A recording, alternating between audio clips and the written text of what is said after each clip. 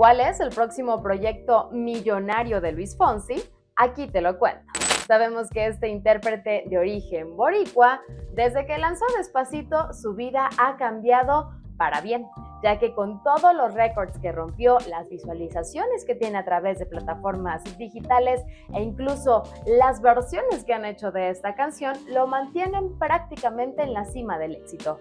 Y así como que tenga que trabajar para poder sacar las cuentas y también poder sacar a su familia adelante, pues ahora lo tiene que hacer pero Luis Fonsi continúa trabajando, haciendo colaboraciones, música nueva, incluso decían que venía una con Karim León, pero Mientras esto ocurre, Luis Fonsi se adentra al mundo de la animación. Y es que va a ser nada más y nada menos que el protagonista de la nueva película Capitán Avispa, que lleva en el ADN de este proyecto la fuerza latina, ya que está escrita y dirigida por Juan Luis Guerra. Seguramente la inspiración la tomó de su sencillo que lanzó hace muchísimo tiempo llamado Las avispas.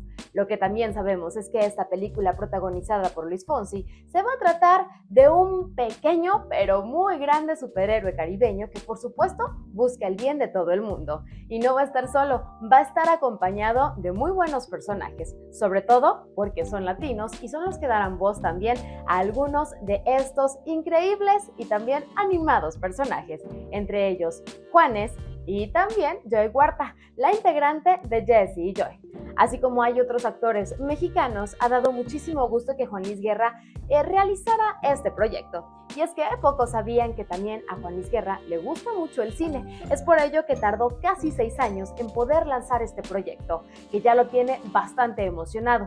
Y lo que más le llegó a conmover es que desde que le presentó a Luis Fonsi dicho proyecto, este mismo aceptó sin pensarlo dos veces. Por lo que aquí nos damos cuenta de la gran amistad que existe entre Fonsi y Juan Luis Guerra, algo que también muchísimas personas a través de redes sociales no sabían que existía esta gran amistad.